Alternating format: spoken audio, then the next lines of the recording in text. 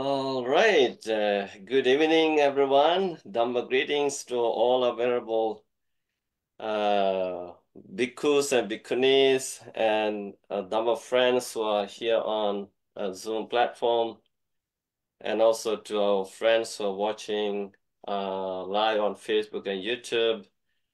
Uh, so let us uh, begin our session by paying respect and homage to the Buddha. Let us recite Namo Tassa three times together. Namo Tassa Bhagavato Arahato Samma Sambuddhassa Namo Tassa Bhagavato Arahato Samma Sambuddhassa Namo tassa bhagavato arahato samma sambuddhassa. I pay my respect and homage uh, to him, the Blessed One, the Worthy One, the fully enlightened Buddha. Okay, so I would like to uh, welcome all of you to our uh, bi-weekly sutra discussion. And uh, sorry for uh, uh, not being able to start this program right on time due to uh, technical difficulties. But I'm very grateful uh, to Mini for being able to uh, figure out how to broadcast this live on Facebook and YouTube. Uh, so today, um, I'm very happy to have uh, all of you for this bi-weekly discussion. Um, I would like to introduce all our uh, monks and nuns to our audience. So today we have Venerable Ananda. Uh, he's joining the discussion from uh, Cambridge, Ontario, Canada. Then we have Venerable uh, Digale Somavangsha. He's joining the discussion from Vancouver, British Columbia, Canada. Uh, then we have Venerable Bhante Jayasara. He's joining the discussion this time from New Jersey.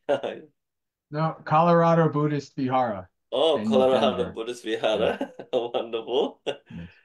And and then we have Venerable Trudell. is joining the discussion from Florida, United States. Then we have Venerable uh, Shanta Sobana. He's joining the discussion from Los Angeles, United States. Then we have uh, Venerable Kusala. He's joining the discussion from Boston, United States. Uh, then we have Venerable Kamalasuri. Uh, he's joining the discussion from Minnesota, United States. And we have Venerable Bhante Kottavir Nanda. He's joining the discussion from Long Island, uh, New York, United States. And after a long time, we see Venerable Aya Sobana. She's joining the discussion uh, from California. Very happy to see you after a long time. And who else is here? Uh, Bhante uh, Sankicha. I can see him, but he's here. His video is not on. He's joining the discussion from Detroit, United States. Uh, so I would like to give a warm welcome to our uh, venerable uh, monks and nuns, and also to our Dhamma friends who are here on Zoom platform, and uh, whoever is watching on Facebook and YouTube Live, uh, please welcome to this discussion. And uh, today, we are going to uh, discuss uh, another uh, interesting uh, sutra uh, from the Samyutta Nikaya. And the title of the today's discussion is Fire Simile and Seven Factors of Awakening. When to cultivate and when to not cultivate. This is based on Agni Sutta. And uh, I would like to invite Venerable Ananda uh, to give us a, a, summary of the sutta. And before that, I have a very humble request from all of you and all our friends uh, who are watching on Facebook and YouTube. uh, please feel free to share this program on your timeline uh, for the spiritual benefit of your family members, friends, and colleagues. So, Venerable Ananda. Greetings, Bhante, Bhikkhus, Bhikkhunis, and uh, Dhamma friends. So today our discussion is around Aggi Sutta, which appears in the linked discourse, the Samyutta Nikaya, under the Bojjhanga Vagga. Now, the key emphasis given uh, today is the seven factors of awakening, or called the Sati Sam, uh, Sambojjhanga. So there are seven factors. Bojjhanga could be even uh, separated to Bodhi Anga, which means uh, factors which uh, contribute towards the enlightenment, uh, Bodhi Anga. And uh, this Aggi Sutta is actually a continuation of the previous sutta which appears right on top of Aggi Sutta, which is called the Pariyaya Sutta. And uh, we find this idea of uh, five hindrances Pancha Nivarana and Satta Bojjhanga in many places. So we find it in uh, sutras like Satipatthana Sutta, where it goes into detail about the five hindrances and uh, Anivarana Sutta in the same Samyutta Nikaya, which discusses in detail uh, both these things together, five hindrances and uh, seven factors of awakening. In other words, in Pali, the Pancha Nivarana and uh, Sat, Sam, uh. So before we um, get into the details of the sutta, I would like to share my screen. That is because I would uh, like to show this in a more visual format. I'm a very visual person and uh, some of uh, you might not be as fluent as the monks when it comes to Pali language. So I just wanted to show you this. So these two concepts, the five hindrances and the uh, seven factors of awakening, they appear all the time. And I'm also going to take you to the jhana or the dhyana, uh, the four stages of dhyana after this. So we have uh, five hindrances, kamachanda, vyapada, Tinamidda, Uddhacha, Kukkucha, Vichikicha, which means the sensory desire.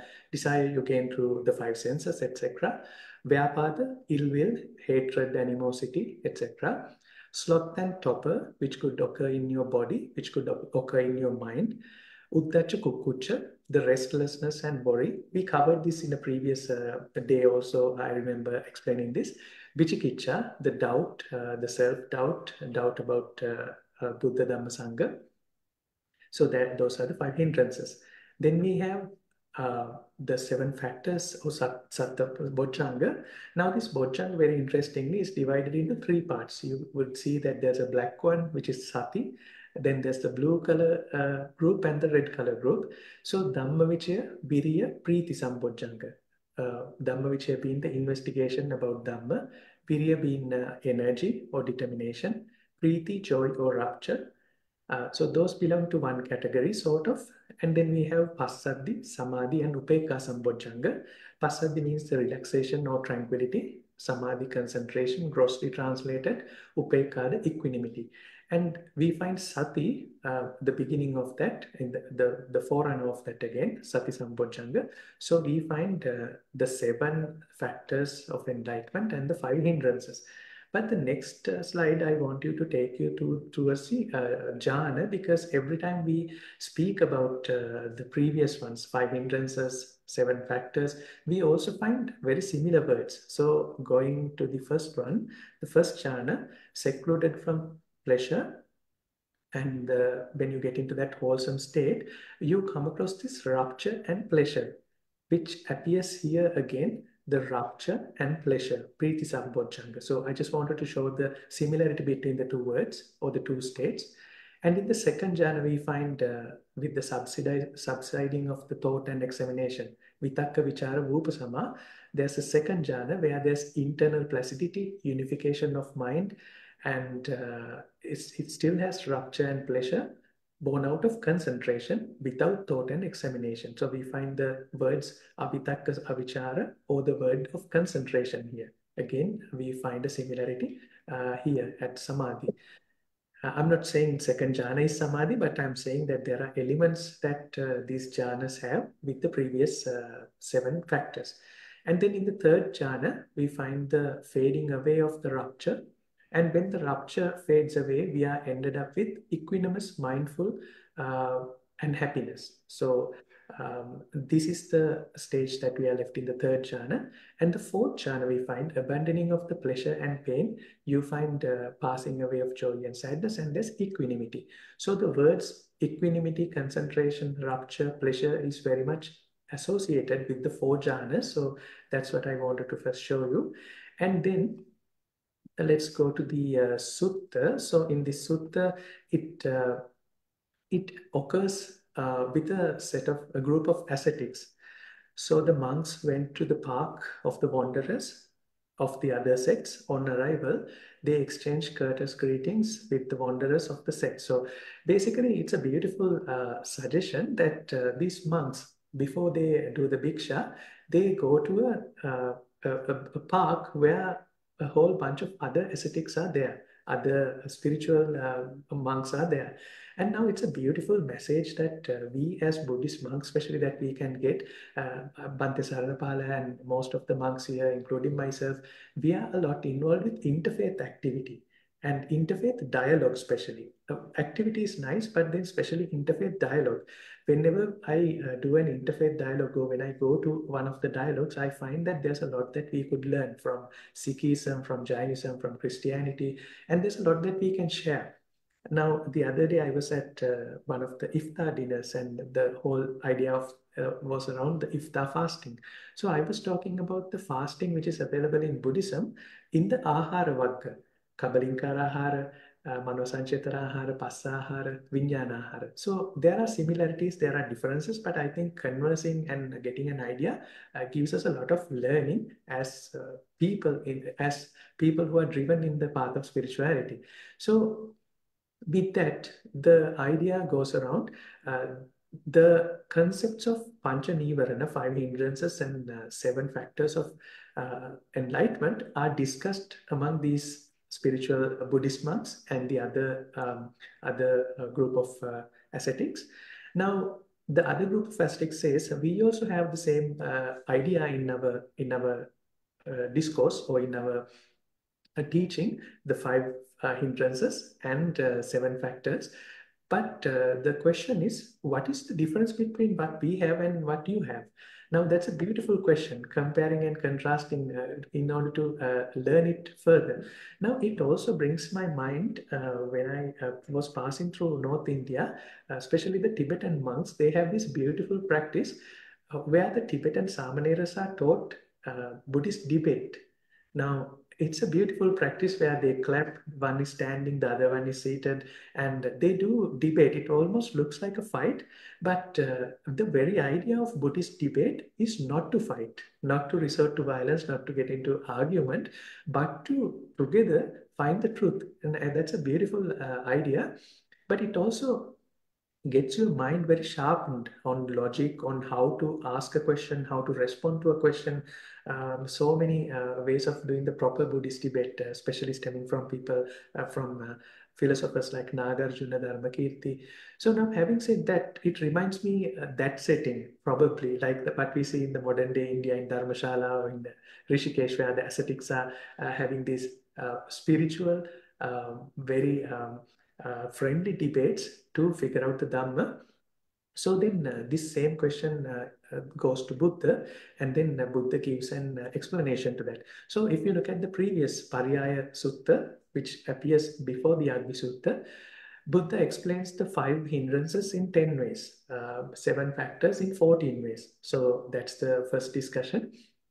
What difference, what distinction, what distinguishing factor is there here between Gotama, the contemplative, and us. So that's the question asked. And uh, so then uh, the particular question here is abandoning the five hindrances, the corruptions of awareness and weaken discernment, develop the seven factors of awakening, abandoning of the five hindrances and uh, developing the seven factors of awakening are the question here or is the, uh, the point of discussion here, the theme here uh, everyone seems to be having it. The question is, uh, what is the difference between the uh, the contemplatives, and the rest of the other ascetics? So then uh, Buddha gives an explanation. Uh, on many occasions, when the mind is sluggish, which of the factors of awakening is that the wrong time to develop? which of the factors of awakening is the right time to develop?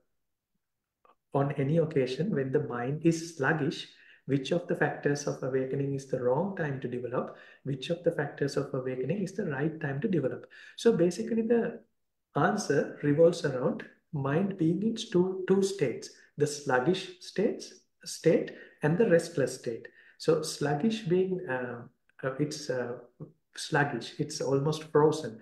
The restless means it's agitated. So we are talking about two different uh, extremes.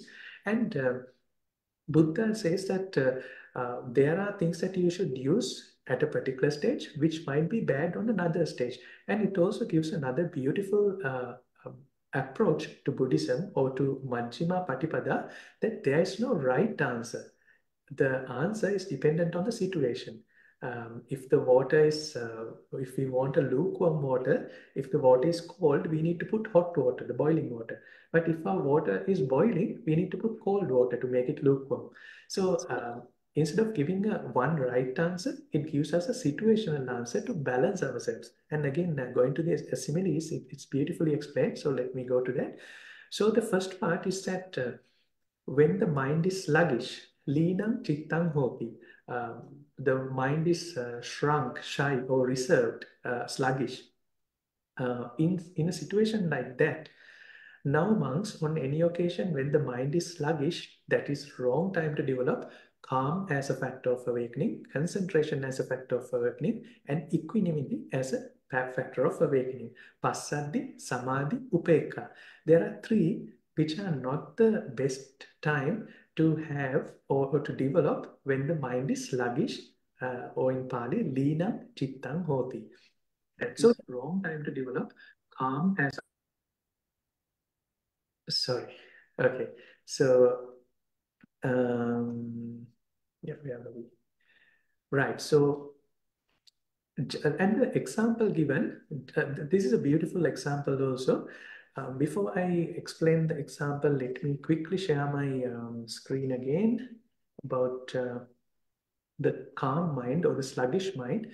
Asati, Samadhi and Upekka, relaxation, tranquility, concentration and equanimity, equanimity are not the best to uh, develop when the mind is sluggish or calm. Mm. And of course, the opposite is here. When the mind is agitated, Piti, Virya, Dhammavicaya are not the best. But uh, let's uh, look at the first one here. Passaddhi, Samadhi and Upekka are not the best uh, to be developed out of the seven factors when the mind is in a state of sluggishness. Um, so the example given is uh, beautiful too. Now we have uh, meditation here at uh, our temple and during winter we uh, make a fire and our Bhante Susila is the expert on uh, fire making, so he knows how to make the fire properly. So uh, when you know. when you make a fire only, you get to know how to lit a fire in the middle of the winter with with a little bit of uh, uh things, you know, with a little bit of uh, uh, material. So the example given is that suppose that you are making a fire uh, just as if a man wanting to make a small fire, fire blaze up, uh, were to place wet grass in it, wet cow dung, wet sticks, were to give it a spray of water and smother uh, it with dust, is it possible that he would make the small fire blaze up? Now, that's a really beautiful example. I think we can discuss about that example in many ways. Now, all the material, in order to, uh, when you go to science, in order for a fire to start, you need oxygen, you need something to be burned, and you need the correct uh, temperature.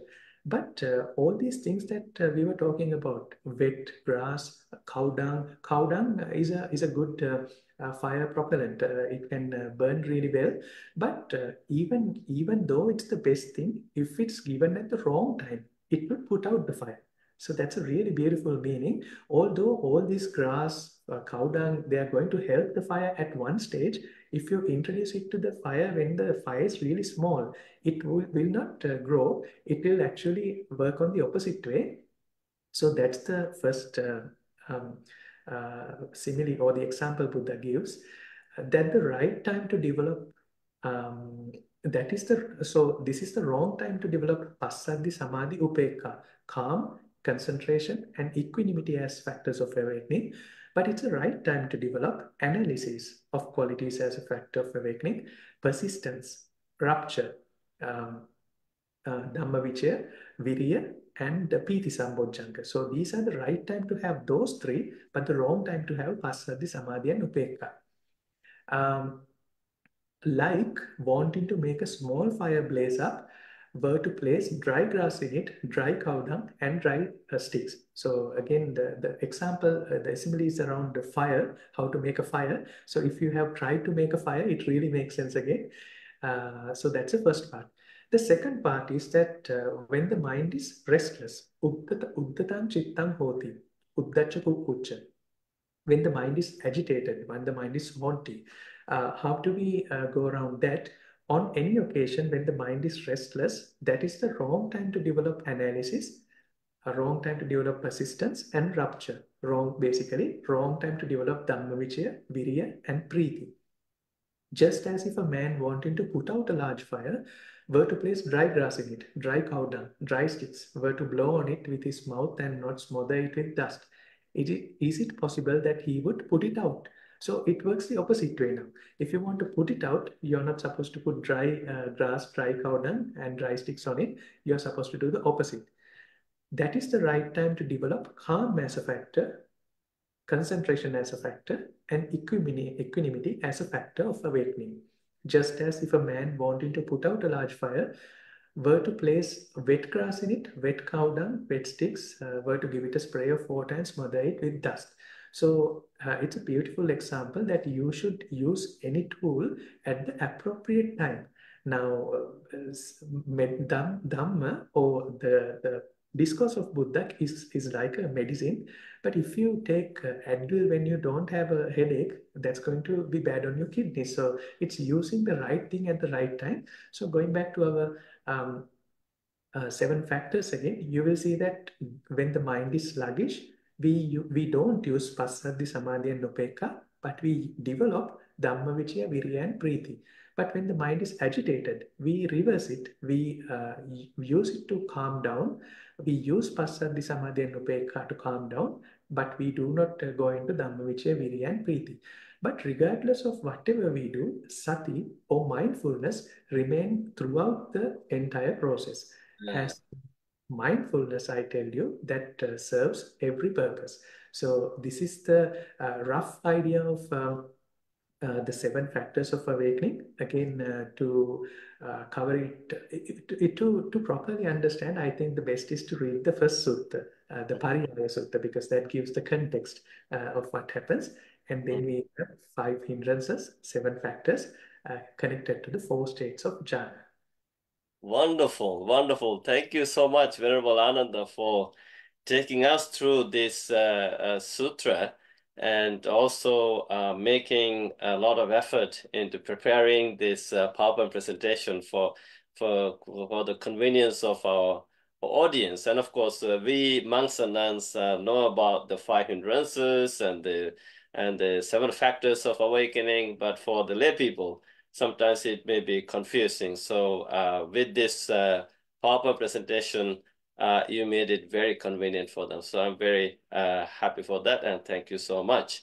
And also we have Venerable uh, Sudhamananda joining the discussion from Long Island, right? You're in New York. And, and, uh, and, and Bhante Sankicha is here. So I would like to welcome both of you. And uh, uh, I, I, think uh, there's a, a, very interesting point to highlight, and of course, uh, uh, interfaith dialogue. I think, uh, as you know, even our monks and nuns in, in, in the United States are heavily involved with interfaith dialogues. I know for sure the Venerable Shantasobana is very active in Los Angeles, and, and here in Canada, myself and Venerable Ananda are very active. We, we are participating in a lot of uh, interfaith dialogues. And I know in uh, sometimes I have seen Bhante Kusala, Bhante Sankicha uh, getting involved with the interfaith dialogues. I think this kind of uh, conversation, friendly conversations took place even during the time of the Buddha. Buddha himself uh, went to those uh, uh, places of worship and had friendly greetings and and discussions and exchange ideas. And even here, the Buddha's disciples went to some other ascetics and having this discussion, and they asked this question. We, uh, your teacher te uh, talks about the abandon the five hindrances and cultivate the seven factors of enlightenment, and uh, we also do the same thing. Now, uh, uh, I don't know which group of ascetics this is referring to. Uh, Bhante Kamalasiri, do you have any idea about could it be the uh, Nigantanatha Buddhas or or some other? Do you have any clue? Like they also talk about the same Uh, thing. They are paribrajakas. They're paribrajakas. Okay, wanderers. Pari, yes, the- but it is in English translation is wanderers, but Yeah. the paribrajaka is very interesting group in uh, uh, the uh, India those days because they were uh, mostly similar to uh, the Buddhist monks. hmm Uh, otherwise, uh, they are not the Jain Nigantas. Uh, they were a group of, they are the people who between Buddhist monk and Jaini, uh, Jainese monks, they, they Uh-huh. were between there. Okay. Uh, otherwise, the mostly Buddha has spent uh, several times with, with them, hmm and so Pilotika also Paribrajaka. hmm Uh, yeah, they, they, he was so friendly to the Buddha. hmm Yeah, it is interesting group. Yeah, yeah. Yeah. And thi- these are uh, uh, uh, like Shramana group, aren't they? Yeah, Like- kind of Shramana, and their teachings also we can't find the individual uh, separate teaching, original teaching from them, but from the sutras, Uh-huh. uh, their teaching is mostly similar to the Buddhist teaching. Here also we can see that they are talking about uh, Bojjhangas, the other hindrance and other things. Yeah, yeah, yeah. yeah. But the, I have some personal idea about that, but I don't want to talk it about uh, in the publicly No. for the now. Maybe later on by the end of the discussion. Maybe no. So uh, here, here is just a simple question uh, uh, for all of you. Now, what are we uh, learning uh, from uh, this sutra? What does it uh, tell us? Uh, so I would like to uh, begin with uh, Bhante Jayasara. If you have read this sutra, uh, how do you read this sutra? Yeah, thank you, Bhante, and uh, good to be with the Mahasangha. Um, this sutta is one of the suttas that I, I I think of when I think about the Buddha gives us a very practical and pragmatic way to practice Mhm. right off the bat. It's it's not kind of esoteric. You don't need to know a lot of different deeper things. The Buddha is saying simply, if your mind is agitated, don't do things that will keep continue to agitate your mind. And and what um the, the timing is so important, right? Because we're not talking about just a mundane thing. We're talking about factors of awakening. And there are times when we should not practice factors of awakening Mm. right? So it's a very, very interesting sutta in that way that we we need to be very wise in knowing what medicine to apply to what illness. Mhm. You know, and uh, when when as, as we in the beginning of our practice, it's it's hard to know that, but the more we practice and the more we see, then we can understand. Oh, this goes. This is the state of my mind. This is what I'm going to apply. This is what I'm going to do right? Mm. as opposed to uh, you know, and you realize, well, are you feeding it or are you starving it? Are you Mm. making the hindrances worse by doing what you're doing, or are you making them weaker? Mm. So it's a very, very important, beautiful uh, sutta with practical advice that we can apply Wonderful. directly in our practice. Wonderful. Thank you so much, Venerable uh, Jayasara, for pointing out that point. It's, a, it's really interesting. It's very practical, very direct message. Now we see uh, uh, two hands raised by two Venerable monks. Uh, first by Venerable Shantasobana from Los Angeles. What's in your mind, Venerable Shantasobana? Uh, thank you very much, Venerable Sirs. And uh, actually, when it comes to this sutra, uh, one of the things that we have to, to understand that when it comes to the very fundamental teachings of the Buddha, it all depend on cause and effect. Mm-hmm. And so it is not anything, any even in the mind, there is nothing exist or effect itself independently. So it always a result of something.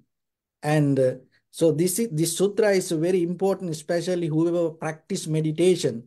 Because nowadays we see in the world uh, people always into meditation, but uh, at the same time they are trying to practice and they are trying to gain result, and maybe they are themselves uh, that abusing their own mind rather than understanding it. So that's why this is very important. Another thing is that when we see the background of the sutra, we can see not only the Buddha's teaching, there are many other people during that time used to talk about these five hindrances Mm-hmm. But but the thing is, they didn't have a right way to deal with this. Mm-hmm. Mm-hmm. So and uh, so this mo- group of monks went out and then came back to the Buddha and had the discussion. So in the Buddha's teaching, we see overall when we look at the all the sutras, Buddha never gave any answers to someone else's questions.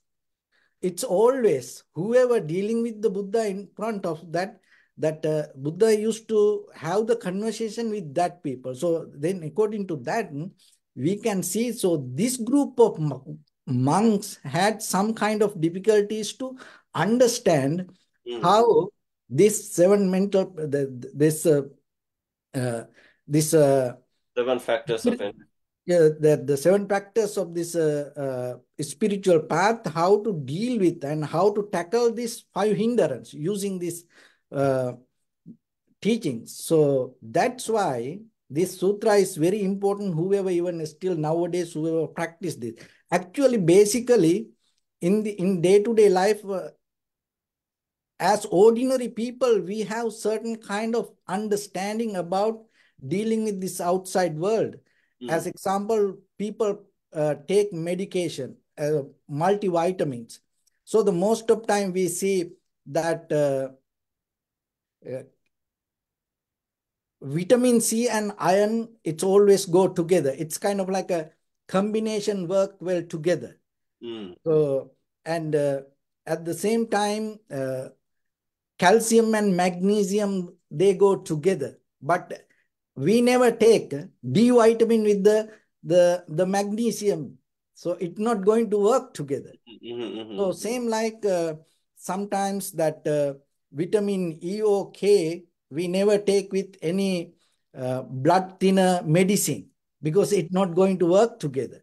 Mm. And when it come to food, so sometimes if it is hard to digest, we take it with coconut milk or coconut.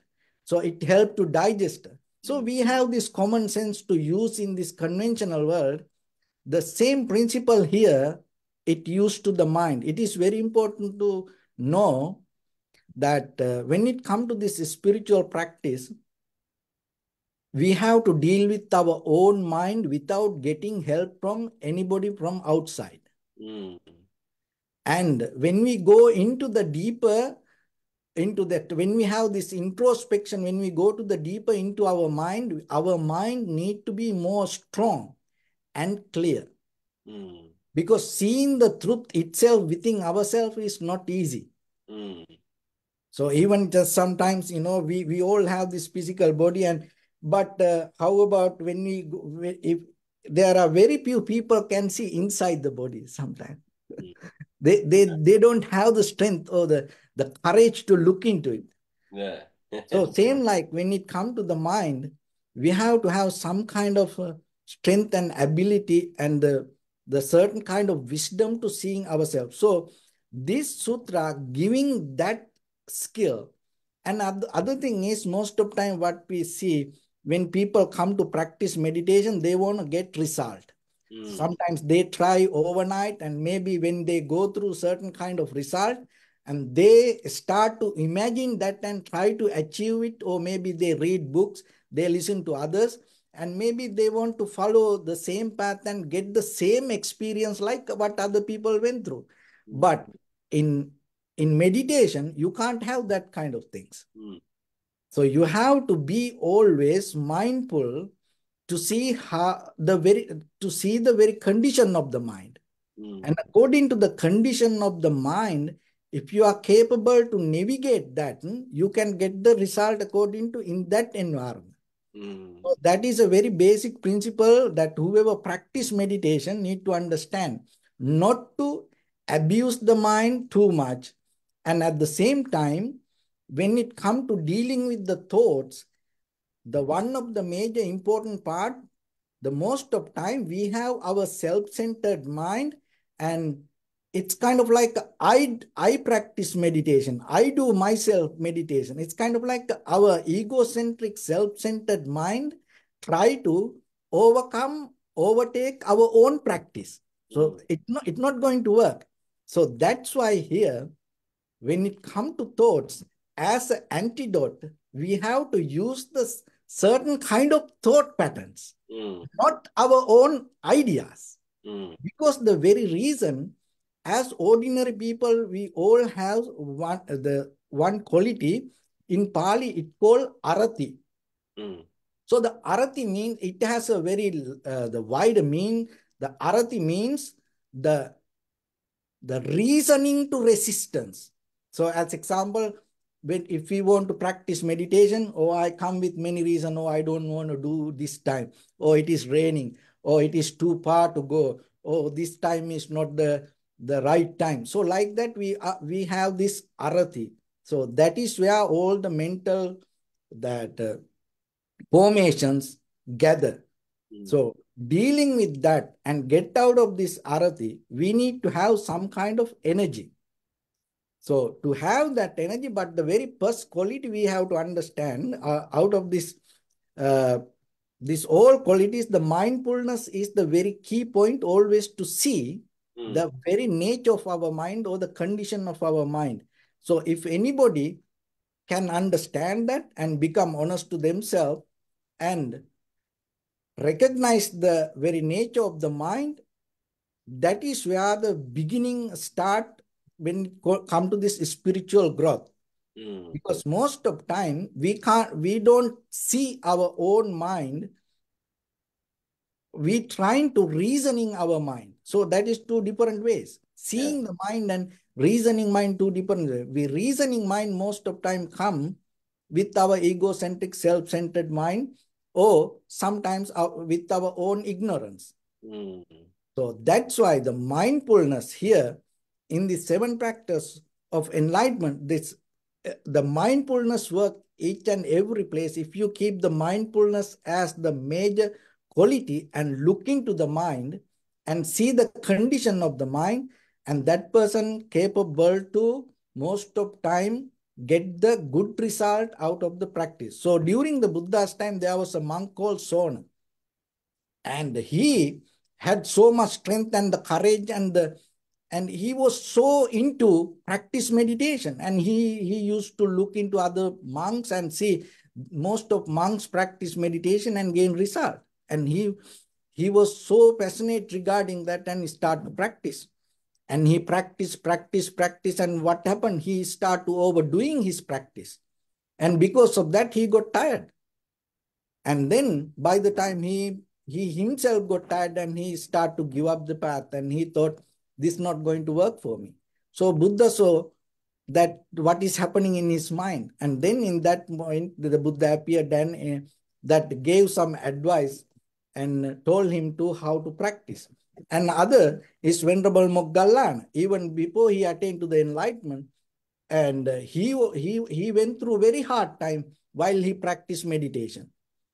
And he was falling to sleep, got tired, and many times he was kind of like a give up practicing meditation.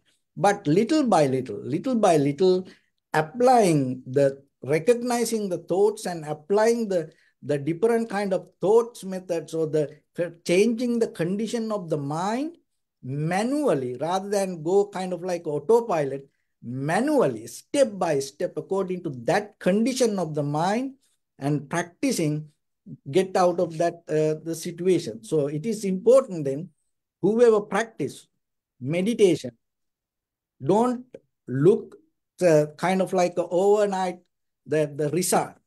So this, and keep just practice and at the same time, whoever go through experience, don't try to look for it or repeat it.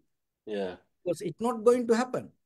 Yeah, being mindful of these uh, these uh, uh, factors is also very important, isn't it? Like you know the uh, if if you're not being mindful of the instructions, you can't uh, fix the mind.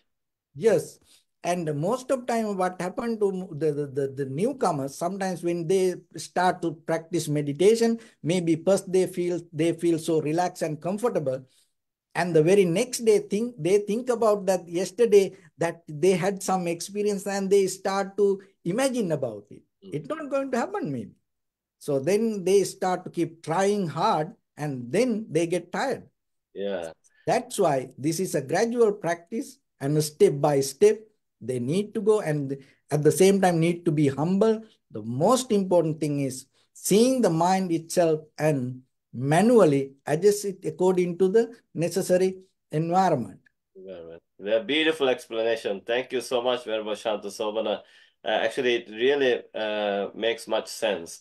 And if if uh, people can understand this, they can really benefit from this practice. Uh, next, we see uh, Venerable uh, Bhante Sankicca from uh, Detroit, United States. What's in your mind, Venerable uh, Sankicca? Yes, Bhante, thank you very much uh, for the opportunity. Greetings and respect to all the Bhantes. And uh, by the way, it's so uh, nice to see you after a long time. thank you, thank you. Glad to be here. Yes, Bhante. Uh, so I think uh, we have a lot of uh, participants today. I don't take much time, therefore. first thing I noticed actually when I read this sutta, when I was listening to it, you know, this group of monks, when the, the other ascetics asked this question, uh, you know, uh, it was so confusing to uh, these monks. Uh-huh. They, they didn't they didn't want to answer that question out out, out of ignorance, right? Uh-huh. So I think that is also very important, you know, when we deal with the Dhamma, especially when somebody asks a question, even uh, whenever we have some confusions, you know, yeah. not to make wrong decisions, wrong judgments and understanding, but go to some experts, you know, one who is uh, very well versed in the Dhamma, who has more experience in the Dhamma there. So you may get a good answer, you know, very practical, beneficial answers. That's a very good lesson, I think, uh, to everybody because many people uh, give wrong interpretations to some dhamma and experience uh, mm-hmm. sometimes. And the other thing, according to this sutta, actually, I can see, Bhante, uh, to know the Dhamma, to read the Dhamma, to study the Dhamma is uh, one thing.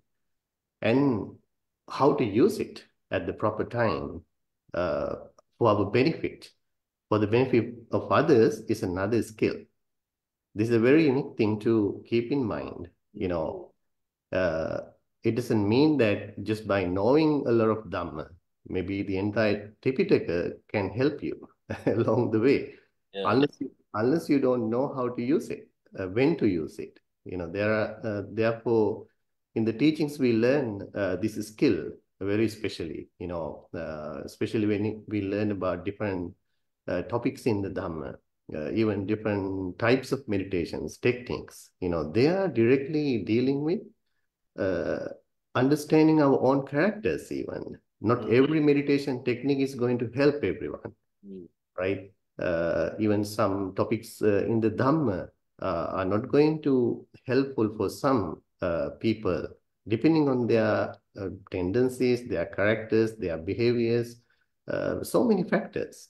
Mm. Therefore, I think it's our responsibility uh, and our duty uh, to understand myself better, you know, my problem, my issues, and uh, what I am looking for in these teachings, in this practice, and to look for the correct place in the Dhamma. Mm. For that, we need to learn the Dhamma. Without knowing, uh, without learning the Dhamma, we cannot find any answer. Mm. For it's our responsibility. Uh, like as an example, in the teachings, it is explained that mm-hmm. uh, for an angry person who has uh, anger issues, they should uh, use the loving kindness meditation technique. And sometimes for people uh, who are disturbed with the sensual pleasures, mm. you know, the tendencies, it is advised to use the meditation technique of uh, repulsiveness, asubhanussati, like that. Mm. So, uh, there are different meditation techniques assigned uh, to different characters. So it is our responsibility to deeply investigate, understand our mind, our tendencies, our characters, behaviors, and then uh, get to know what these meditation techniques are, uh, their background, their purpose even. Mm-hmm. And sometimes it's a very uh, skillful uh, thing uh, to learn how to combine these different teachings, techniques together. You know, especially even in uh, helping others, you know, I have some experience, you know, when some people uh, come with a very disturbed mind, especially mm-hmm. counseling area, you know, this comes very handy to keep in mind. Uh, like, uh, suppose somebody comes uh, with a panic attack, mm. like a depression uh, kind of situation. If somebody tries to guide them in a way that, okay, come and close your eyes, try to meditate, that can be terrified experience for that person. Mm. It can be dreadful for that person because the mental experience situation they are going through can be very disturbing to them. Hmm. Uh, so closing uh, his or her eyes can be really dreadful for them. So mm. that's where the real counseling or even the Dhamma Vichaya, Sambojjhanga in this case, talk to them, mm. converse with them, guide them in some understanding. Uh, it can be very helpful. And then maybe afterwards, you can apply some uh, peaceful meditation techniques like passaddhi, concentration, things mm. like that. So it, it would be very helpful for us to have this skill, you know, know the Dhamma and when to, and for what reasons issues to use this Dhamma as medicine. Yeah, one Beautiful, beautiful. Actually, it, it's so true about Bhante Sankicca. When I had the experience uh, those days, uh, when I st- when I started doing the public speaking, and I would receive questions from the audience, and I I I I didn't have the right answer, but I said I had to do more research. That I would get back to uh, my teachers and and they would uh, refer to some sutras and or some books and and after reading those uh, sutras and those uh, books, you know, uh, it, we learn and and then next time we go to do the public speaking or teach, then uh, it gives us a lot of energy. We know this stuff. we know how to answer the question. That is, I think that is being so humble, right? Some people, teachers, they don't like to say, I don't know. yeah, maybe, maybe, this group of monks, actually, they were newly ordained. They had, they did not have much knowledge about the Dhamma. Right. That's why they got back to the Buddha. okay, so next I see Venerable Sudhammananda. Uh, uh, please, uh, what's in your mind, Venerable? Hopefully, uh, mind is empty. soon, soon, uh, good afternoon, everyone. Uh, respect to the venerable monks and nuns who are present.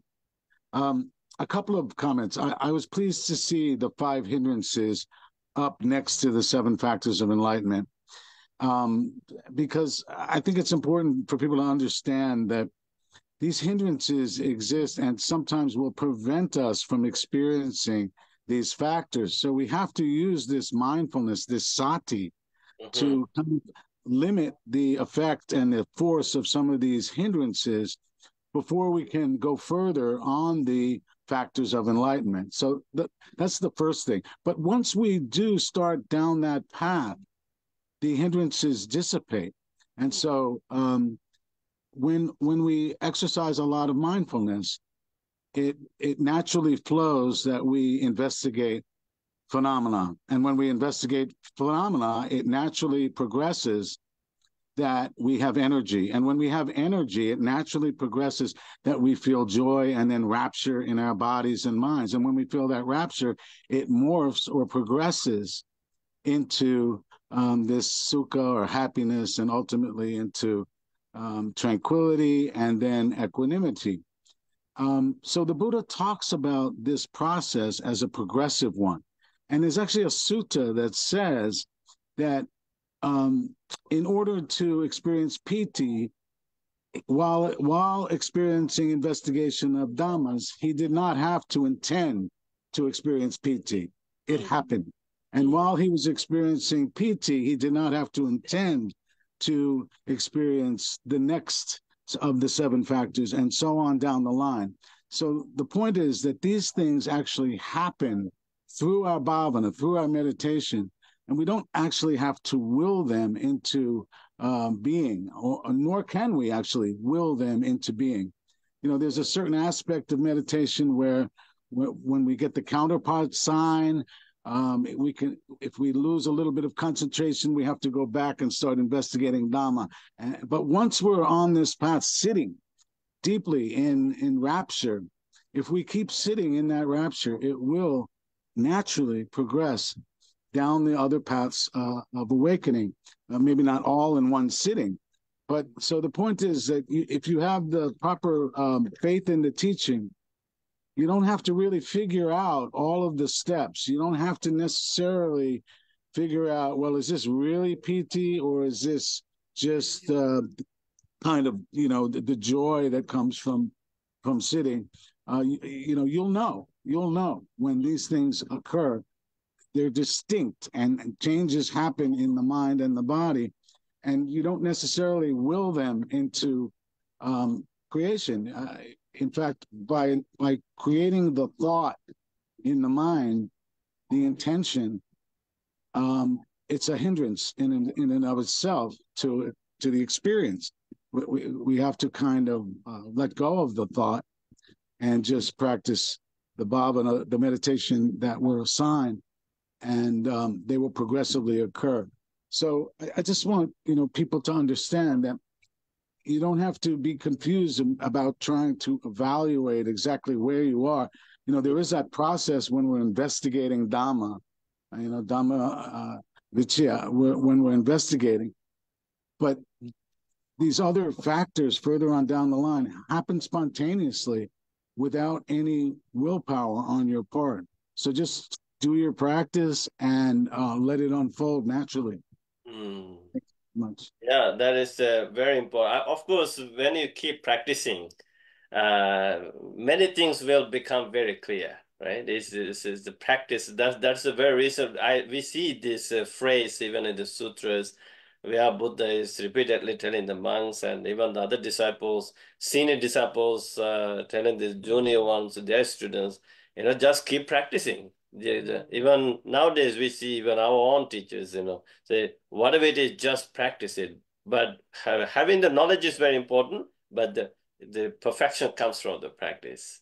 So thank you for emphasizing on that aspect of the teaching. Uh, next, uh, we see Venerable Tridao from Florida. Uh, what's in your mind, Venerable Tridao? Uh, you have to unmute. Salutations to all of the most venerables. Can you all hear me just fine? Yeah, yeah, we can hear you. I apologize. It's uh, it's Florida. We have a lot of wind, so the young Florida monk is uh, struggling out here. Um, in regards to today's sutta, I think um, after hearing everyone's contribution, I think the key here would be prevention of the five hindrances. Prevention. Mm -hmm. So if we mm-hmm. can prevent it in the first place, uh, then you know it doesn't have that dependent origination, the links of influence leading to the next to the next, and then we can't really be the antidote to the five hindrances. And the reminder would be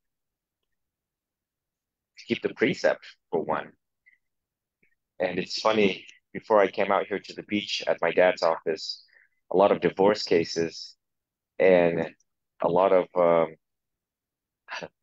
people just really get all tangled up into their stories and narrative of uh, divorces and how they live very complicated lives and having to remember a lot of lies, which give rise to anger, uh, ill will, which is one of the hindrances, and uh, working a lot of cases that has to do with desires. so, you know, um, and when we look at doubt, trusting in one's ability, not just lack of conviction for the teachings of the Buddha, but lack of trust in one's ability. And we see that a lot nowadays. And so I think the monastic order, one of our duties is to reinforce and to lead by example and to remind the student to trust in your own two wings when you are the bird on the branch and to you know to have that words of encouragement that these are the teachings that will help you develop these wings strong mighty against the wind of life and the hurricanes of life so um, and then when we look at number four, it cannot calm the mind. One has to trace the links of influence as to what leads to one's inability to calm one's mind because of the drama that one has brought to and in one's life. So, you know, just into the details uh, of each individual's life to, I would say, write it out like how I did. um, and now, you know, we have all sorts of programs like Monday.com and all of these uh, uh, software out there that helps people organize their life. And it's like you can you can organize organize your life with just a pen and a piece of paper, the traditional and old school way. Uh, keyword the old school way. and so just wanted to um, remind everyone that um, prevention would be key here. Uh, and it clears the way more smoothly, less entanglement in one's life, less complications. And I think behind me, I might as well just drag it out since I already have it here. When I went to Laos and Thailand, you imagine a monk dragging this out on the beach? I wonder what my fellow Floridians think. Mm. But um, you know, I think all of us have one of these at the monastery, and when we see an image of a monk sweeping the floor and the sound of this broom, simplicity. It's just enlightenment is one sweep away. But yet we have to get complicated with our lives so busy that we're buying robots to sweep for us. and so when a monk tells us to grab a broom and take the time to sweep, the lawyer in one's head says, I'm too busy to sweep. I don't have time. I have kids. I have to pick them up. I have karate class and so on and so on. I just wanted to contribute that uh, that fact, and uh, I apologize not having additional time uh, to add more. I want to floor back to the monastic because um, uh, whole group of young students waiting to uh, practice walking meditation. But thank you for having me. Thank you, thank you so much, Venerable for sharing that experience with us. And I would be very uh, today. I see Venerable uh, uh, Kusala and Venerable uh, Sobana remaining very quiet. Uh, I would like to hear from you as well, but I see Venerable Shanta Sobana raising hand again. Uh, what's in your mind, Venerable Shanta Sobana? So, uh, actually, Venerables, uh, uh, I'm very sorry to tell this uh, because uh, the thing is this, that we are discussing the sutras and all over the world, this go, and people see this and this going to be recorded and uh, this going to be uh, kind of like uh, for a long time. Yeah. So that's why. So when it come to Buddha's teaching uh, in meditation, it's never taught anywhere that once you start to practice gradually itself, you're going to go to enlightenment. Mm. So moment by moment, you have to have the awareness and you have to practice this. So mm-hmm. that's why this all the teachings. It's not uh, that because I see most of time there are some people talk about meditation. Meditation is doing nothing. Mm-hmm. Maybe it is a, some kind of meditation, but when it comes to the Buddha's teaching and when it comes to tranquility meditation, go towards the inside meditation. And if anybody look for the liberation, and you have to do it moment by moment with the awareness, knowingly the very condition of the mind it is not a gradual path once you come to the mindfulness that other everything going to happen itself. It's mm. not going to happen there. Then, then this kind of teaching no need because whoever come to mindfulness, then that person always going to have that thing. No, it's always the mind that going to depend on the according to the necessary cause and conditions in that environment. So we don't know what kind of condition will come in the very next moment. Mm. So that's why uh, when it come to these sutras or and even the other sutras, it's very clear. It's not kind of like uh, the method that once you have the mindfulness that other everything going to be there. No, mm. it's always you have to practice moment by moment with the energy, effort, and the clear mind. So that practice will give uh, the result. So that is my idea. And I hope if if, if it is wrong, and uh, I think uh, we can go ahead and and I, that uh, I like to discuss about it. No, the, the Venerable Shantasomana, you, you're right. You know, uh, there are a lot of uh, people actually watching this program. Even yesterday, uh, a devotee family uh, came to our temple, and and they and they said their relatives in in in Australia uh, uh, watch this program, and they love this discussion very much. They look forward to this, and I and I, I want to give a big shout out to those people if they're watching it now uh, thank you for watching all the way from Australia.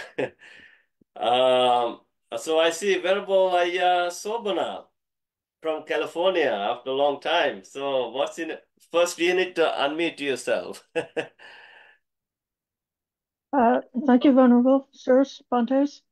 Um, I am very grateful for this group, and uh, uh, Ayya Tathaaloka encouraged me to change my regular weekly schedule in order to be able to uh, again uh, uh, participate with this study. As to the sutta in question, most of the time, the students who come to us for the weekly meditation program are too much agitated. And so I do put a lot of effort in helping them to calm down first. Uh, but uh, that the giving the uh, tip about knowing how the mind is going and bringing the right antidote for the state of mind are changing the practice according to the state of mind in order to sustain the meditation is something that the students do appreciate hearing. Uh, right now, I am very much thinking of uh, sati in terms of remembering to be aware of the chattara satipatthana, of the four satipatthanas. And so then considering that uh, this instruction, especially about the uh, hindrances and the bojjhangas, is a, related to uh, chittanupassana, being aware of the state of mind, and also related to dhammanupassana, that those are two of the themes in dhammanupassana that can be uh, developed and cultivated. Mm-hmm. We hear about the bojjhangas as being a progressive sequence that uh, leads onwards one to the other. Uh, but this sutta seems to tell us that they may not necessarily need to be practiced progressively in order like that, but they should be practiced skillfully according to what's the right remedy for the state of mind at the time.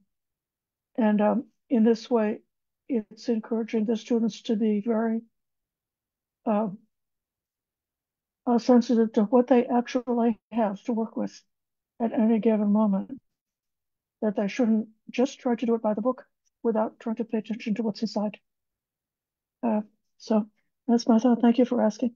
Yeah, uh, thank you, uh, Venerable Ayya Soban. Actually, monks are very happy to have your presence. Uh, they're saying it's a great blessing to have you.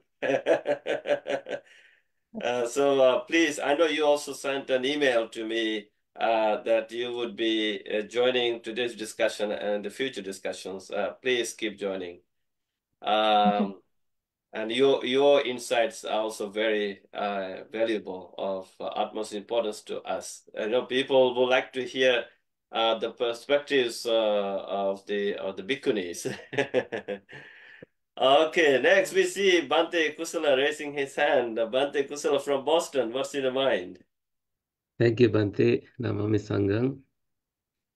It's great to see many monks uh, and at least one nun joining us today. Um, um, I have listened to these beautiful contributions of all the Sangha, it's so inspiring to uh, see their perspective of the sutra. And uh, when I received your email about the discussion, um, I was all inspired Mm. because uh, no matter how much practice I have done, no matter how much teachings I have given, a simple sutra like this uh, answers many questions that I have struggled with before in my own practice. Um, I think when Jayasaro said this is like the clear-cut teachings about the practice, and I liked uh, what Venerable Sankhya said about how teachings can be one thing and putting it into practice is another. Mm. And then I remember Bhante Santasobana talking about how magnesium and vitamin D are not taken together. And in the same way, sometimes uh, uh, sluggishness, um, you know, sluggishness is to be observed with mindfulness, and the remedy also should be discovered with mindfulness. Uh, so I, when I studied the sutra this evening, I kind of categorized the seven factors of awakening Mm. into these two parts restlessness, the uddha, uddhat, uddhatang, and uh, then sluggishness, leaner uh, nature of the mind.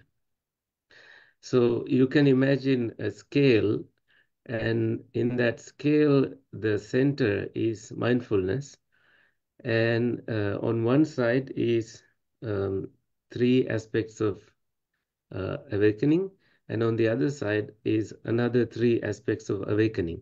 Mm. So the balancing factor is mindfulness. I think this was also highlighted, and I like uh, when when uh, in in the very beginning, uh, Venerable Ananda brought um, the previous sutra, and then the sutra that comes after in this discussion uh, into the table. That is super important and very interesting way to read. And I think this is called intertextuality. Uh, not taking a sutra alone, but trying to place it uh, with the sutra before and sutra after. Mm. So uh, when we do that, um, some pieces that are missing in one teaching can be discovered.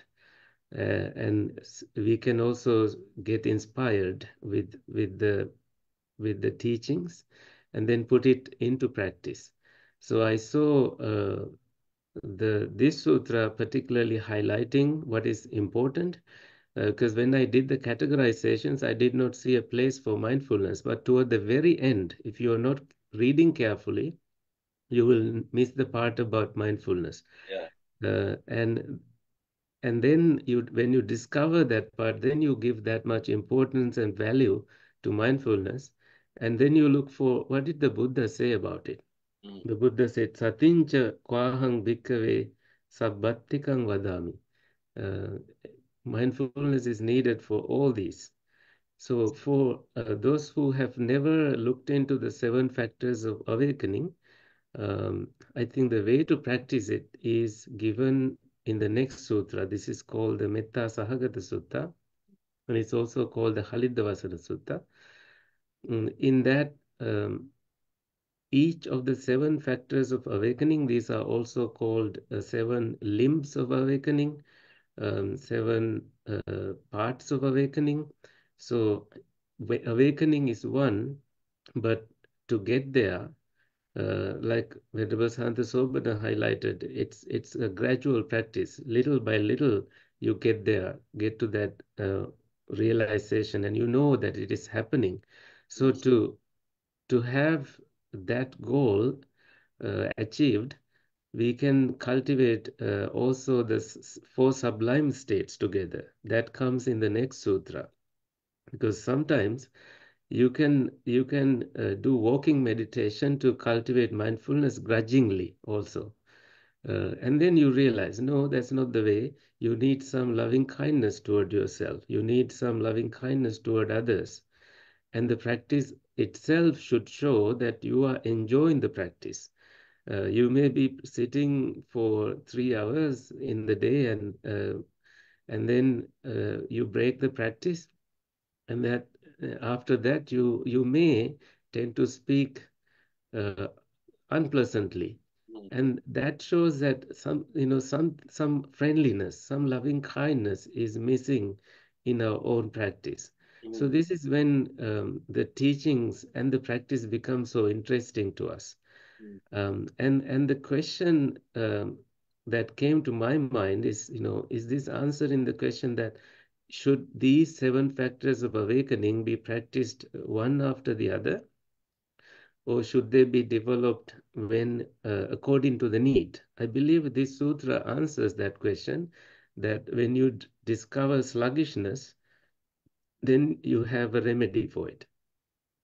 Um, for sluggish mind, getting active with analyzing things can um, can inspire your mind. Um, so uh, this reminds me of this image that I remember from listening to Venerable Ajahn Brahm.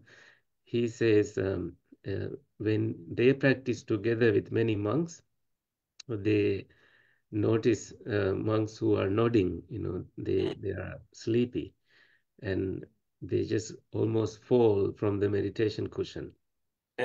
And and then some some monks who are very um, perfect looking in the when you look at them, they are seated perfectly and um, you can almost you know you can think that they must be having good meditation but then i was surprised to hear the other part he he shared with us that those monks who are nodding who are sluggish are the ones who end up remaining monks. And those monks who look so serious uh, in their sitting they quit soon. They don't end up staying monks. So this was very um, interesting to me Yeah. uh, because you know some some of us um, want to put up that show and you know show that we are perfectly in doing our meditation. This you know our ego can drive us in all these directions. But then if you are honestly sincerely looking into your practice the practice it, it itself will show whether you are truly enjoying it and doing it the right way. Because uh, we can you know dhamma can we can catch the dhamma like catching a snake with the tail. It can bite us. It may it may be harmful to us. So if someone is struggling with their practice i would definitely encourage them to put these three sutras together and see if you can change um, anything about your practice um, and see if you get the results sooner. Sometimes, you know, it can take years to get some results, and it took that many years because some of the important pieces of the teaching were gone missing in your own understanding. Because you may hear it, but you may not comprehend it and put it into practice. Because this is uh, these sutras should be sadhukang manasikarota Mm. you listen well and comprehend it so Mm. that it comes ready and handy to you uh, at the moment you try to begin your practice. So, um, these are um, uh, some things I wanted to share, but I also wanted to highlight that, you know, uh, although it was um, brought up in the earlier, uh, in the discussion on, on in this discussion earlier that um, interfaith discussions um, happened uh, right like like in, at the time of the Buddha. Mm. Um, I I was wondering about that part. Um, sometimes um, the language of the sutra, the, especially the one after, does not support that friendliness in the in the discussions between these monastics. Uh, but it is, of course, encouraging us to engage in uh, interfaith discussions uh, in, in a friendly way. And that is why we do engage in these discussions together. Sometimes us monks also do, never get together to discuss Dhamma. That's why this uh, this teach this group is so important that way. And I like that you know we we continue doing it uh, no matter how many challenges and obstacles and discouragements we may face along the way, but we continue doing it. And today was the best example for how to see how each monk saw the sutra slightly differently from uh, the other. And and in in the response that the Buddha gave, um, it says that these paribrajakas, the um, students of other whoever teaches, uh, will not be able to answer when you kind of confront them this way because it's avisayagatam. It's not their area of focus. Mm. So um, I think what I got from that piece is that sometimes they just want to compare. They want to claim that we do what you do, so don't say that you guys are doing something better. Yeah. it's kind of, you know, confrontational. But I'm glad that the Buddhist monks here, in this case, they remain silent. And uh, uh, whether they were senior monks or monks who never faced this kind of question, because at the time of the Buddha, there was there were a lot of debates going on. Mhm. Uh, some of sometimes monks were not encouraged to participate in those debates, um, and also to they were they were told not to perform miracles also, Mhm. and there were rules against these things. So uh, I think the Buddha was very much aware of these uh, debates going on. Sometimes uh, these other monks coming to confront the Buddhist monks, and the Buddha was kind of giving them confidence by saying, um, well, when, when you put these seven factors of awakening into practice, you will discover these things, and this is how you can uh, practice them so well. And maybe it is um, good to engage with them in a discussion so you are ready to answer without having to uh, bring the discussion to, to the Buddha. So that is also super interesting. Um, I think the other piece that I will highlight is that the next sutra, the Metta Sahagata Sutra, also highlights um, the four sublime states and their destinations when you practice them with the seven factors of awakening. So you do it in 28 ways, each four practiced with the seven factors of awakening. And when you have done it that way, each of these bring you to beautiful destinations. For example, loving kindness uh, brings you to the beautiful deliverance of the mind. This is called the Subha Vimokkha. Mm. And then the compassion brings you to uh, infinite space.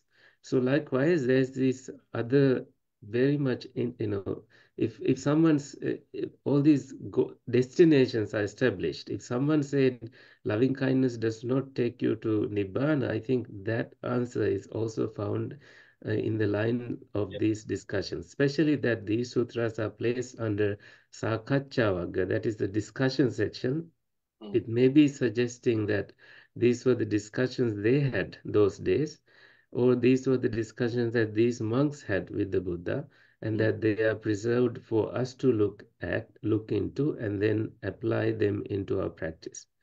Thank Mhm. you, Bhante, for this time.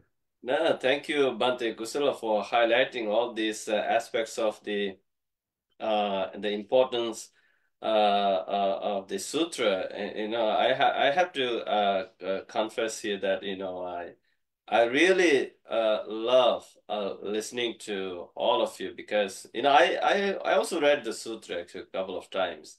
And after reading the two times that I have chosen this sutra, we need to discuss this one. And then read the third time. And after listening to all of you, you know, how you saw this uh, uh, sutra and how you explained, that gave me more, you know, the insights and the more knowledge. And and so uh, uh, now I'm uh, uh, thinking of uh, uh, highlighting these teachings on my monthly retreat coming up, coming Saturday. So these teachings are more than enough for this retreat. So I'm very grateful to all of you for helping me with all these insights. Uh, uh, so now, uh, Bhante Kamalasiri, do you have anything to share with us about this sutra? I think the everybody explained it nicely and beautifully. Then So there is no anything else to explain, but the I, I like to give a little bit another idea. Yeah. Because the we are monks here and uh, we are mostly give the teachings and meditation teachings. Uh, therefore, it is uh, very in, important this sutra because uh, if the until we not understand this sutra, Mhm. I think the teaching is Paribrajaka's teaching. Uh-huh. Yeah. Yeah. That's a very powerful statement you made. yeah, that, that is the thing happening. The, the same thing happening, you know, the until not understanding Indriya Bhavana Sutta, the all of the Buddhist teachers also teach uh, uh, Parasarya's teaching. Yeah. That is the happening. Uh, Mm. same way this one also. The, therefore, if we want to be real Buddha's disciple, uh, then so we need to understand this sutra.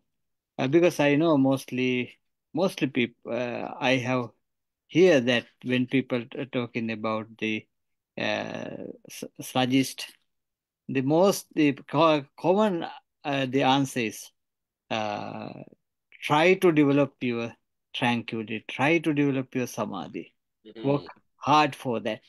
That is the answer. Mhm. Yeah, you can find so many examples for that in the YouTube Uh, uh, because of the not understanding this sutra. mhm. Uh, so we, we must pay our attention to this sutra. Yeah. Yeah, thank you so much. So the, the, the, these concluding remarks tell so much about what we do, you know, what other monks teach and what they do and how we are doing this, right? Yeah. Thank you. Thank you about the.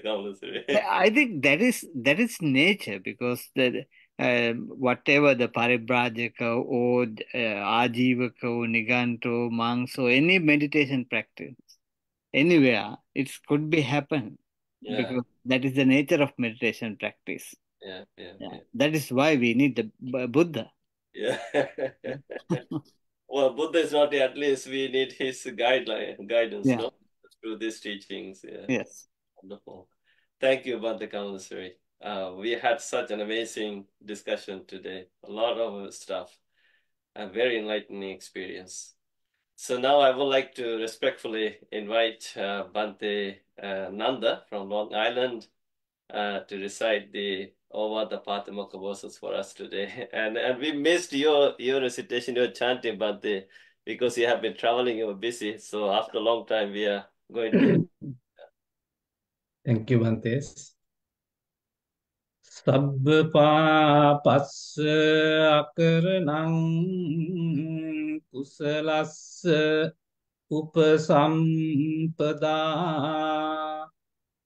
සචිත්ත පරියෝදපනං ඒතං බුද්ධාන ශාසනං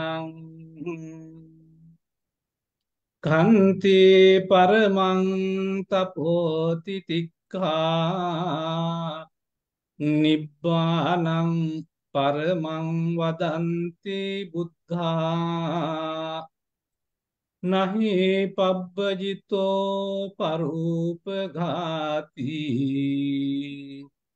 සමනෝ හෝති පරං වේඨයන්තෝ අනුපවාදෝ අනුපඝාතෝ පාතිමොක්ඛේච සංවරෝ මත්තඤ්ඤුතාච භත්තස්මින් පන්තංච සයනාසනං ते च आयोगो एतं බුද්ධාන සාසනං Sadhu, sadhu, sadhu. So thank you, Bhantinanda, for beautifully reciting this Ovada Patimokkha verses for us uh, uh, we all had such an amazing discussion today, and I'm very grateful to uh, have your spiritual presence. And thank you for sharing your wisdom and insights and knowledge with us. And this is such a great meritorious deed. I'm wishing you nothing but all the blessings of the Buddha, Dhamma, and the Sangha. May Devas continue uh, to protect and guard all of you uh, with divine blessings for your health and safety so that you can continue sharing Dhamma more and more with uh, more people who are thirsty and hungry for Dhamma. Uh, Sabbe Satta Bhavantu Sukhitatta. May all sentient beings be well, happy, and peaceful. Uh, with this loving uh, uh, kindness in mind, uh, I would like to wind this up today, and I'm hoping to see you all in two weeks' time. Until then, be well, and good night from Toronto, Canada.